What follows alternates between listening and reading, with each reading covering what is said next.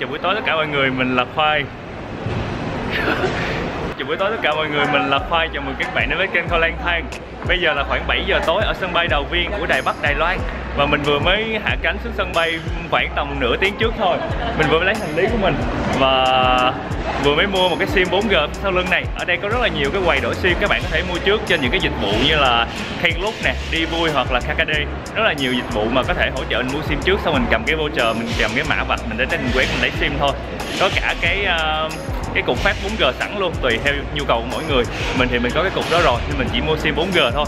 Bây giờ thì sẽ đi ra MRT tàu điện để mà về lại trung tâm thành phố Đài Bắc ở đây có cái mũi tên chỉ quẹo sang tay trái là MRT này mình sẽ đi qua hướng bên này và đi thẳng đến cuối đường.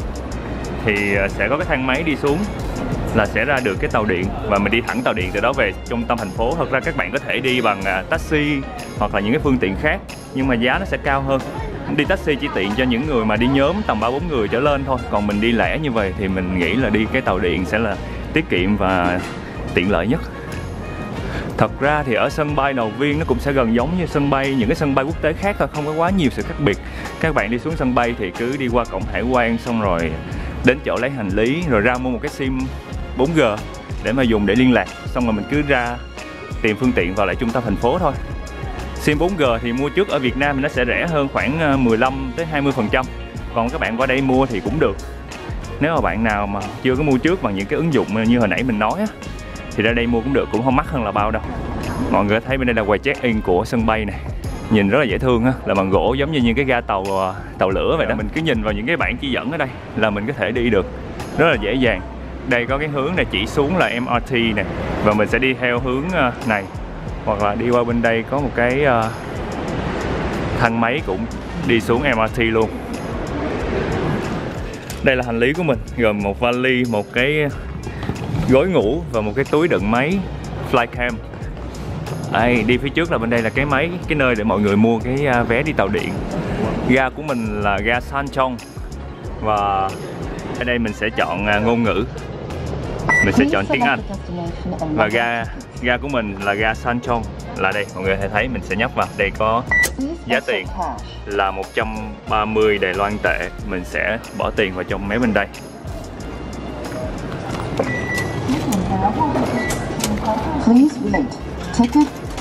Và vé sẽ rớt như này. Và mình sẽ cầm vé này đi vào cái cổng bên kia.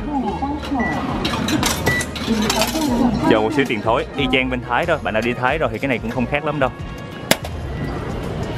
Để thẻ vào đây thôi. Ô, nhanh lên.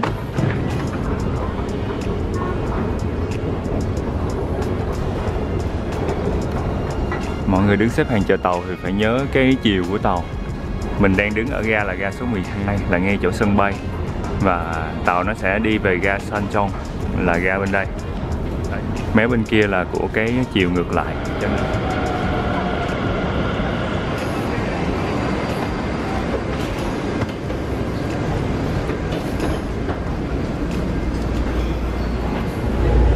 khi lên tàu điện thì mọi người để cái bảng điện tử này nó sẽ thể hiện được cái uh, trạm kế tiếp nó dừng và cái trạm hiện tại mình đang đứng.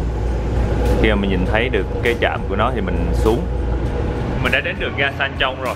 Thật ra thì đi tàu điện này chỉ mất khoảng tầm hơn 100 ngàn thôi là mình đã đến được vào trung tâm thành phố.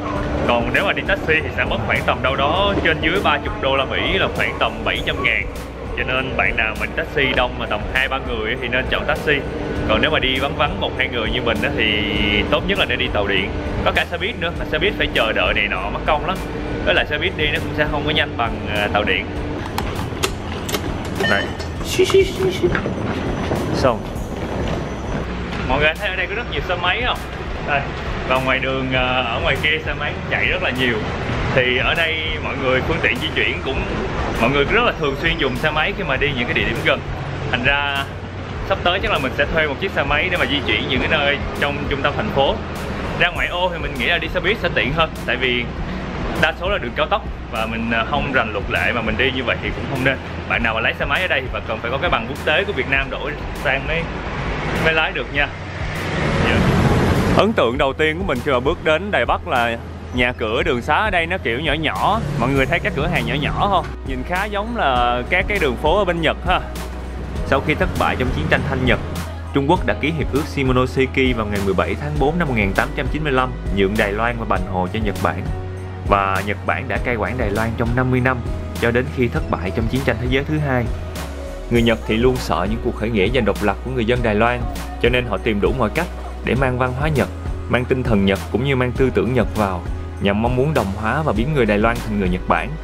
Người Đài Loan một phần nhờ vậy mà có tư tưởng tiến bộ rất nhanh, nhưng đổi lại thì văn hóa của họ bị ảnh hưởng và mang hơi hướng Nhật Bản rất là nhiều. Bằng chứng là các bạn có thể tìm thấy sự ảnh hưởng của Nhật Bản trên đường phố này, trong cả ẩm thực, trong cả cái lối sống. Đó cũng là một trong những cái phần mà đã tạo nên cái nét văn hóa đặc biệt của Đài Loan. Người Đài Loan vẫn giữ được cái sự truyền thống của người Trung Quốc nhưng bên cạnh đó họ có mang thêm cái tinh thần Nhật Bản trong đấy nữa. Hy vọng những ngày tới mình sẽ khám phá thêm được nhiều điều thú vị ở Đài Loan. Bây giờ thì sẽ đi ngủ sớm để có sức ngày mai sẽ đi khám phá Đài Bắc.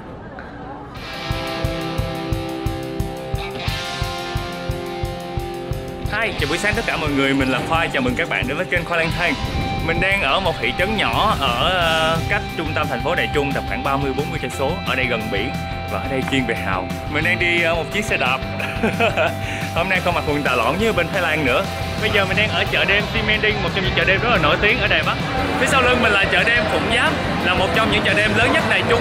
Phía sau lưng mình là khu chợ đêm của đường nhiêu hà, một trong những chợ đêm rất là nổi tiếng ở đài loan. Và lần nào đi chợ đêm mình cũng háo hức như vậy hết, tại vì trong lúc nào cũng sẽ rất nhiều đồ ăn. Bây giờ là 8 giờ tối ở thành phố Đài Bắc và phía sau lưng mình là chợ đêm Sĩ Long, một trong những chợ đêm nổi tiếng nhất Đài Bắc. Ở đây có rất là nhiều đồ ăn ngon và bây giờ mình sẽ đi vào trong chợ đêm xem có những món ăn nào và mình sẽ ăn và chia sẻ với mọi người. hôm nay lại là một ngày trời mưa long rong ở Đài Loan nữa rồi. Tại vì hồi sáng mình cũng có coi dự báo thời tiết thì mình thấy chỉ là mưa phùn thôi. Không ngờ đâu mưa dọc về ướt nhẹp như chuột lột luôn ở đó mà phùn không sao cả và phía sau lưng mình nè à, mọi người thấy không ngôi cao á?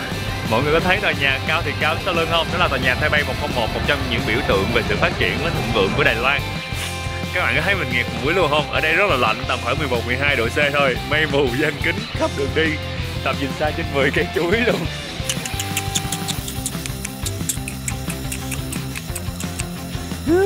Dễ thương quá. Hai cái càng king grab rất là bự rất là bự nha bự chà bó luôn cái mặt của mình đây mà nó còn bự hơn luôn. Khổng lồ rồi mọi người có thấy không? Miếng gà bự hơn mặt của mình luôn nha. Đây là phần ức gà họ chẻ làm đôi ra mà bự như vậy nè. Ôi chết rồi bỏ vô lại. Mà trong hình nó chỉ có ba miếng thịt thôi không hiểu tại sao cái cô chủ của đem ra tới mười mấy miếng thịt luôn. Cho nên cái món gà này hơi bị lố thành ra cái bữa trưa này nó hơi bị nhiều đồ ăn quá. Nhưng không sao mình sẽ cố gắng ăn hết tất cả. À, giờ mình sẽ về lại khách sạn đây. Hẹn gặp lại các bạn vào tập sau.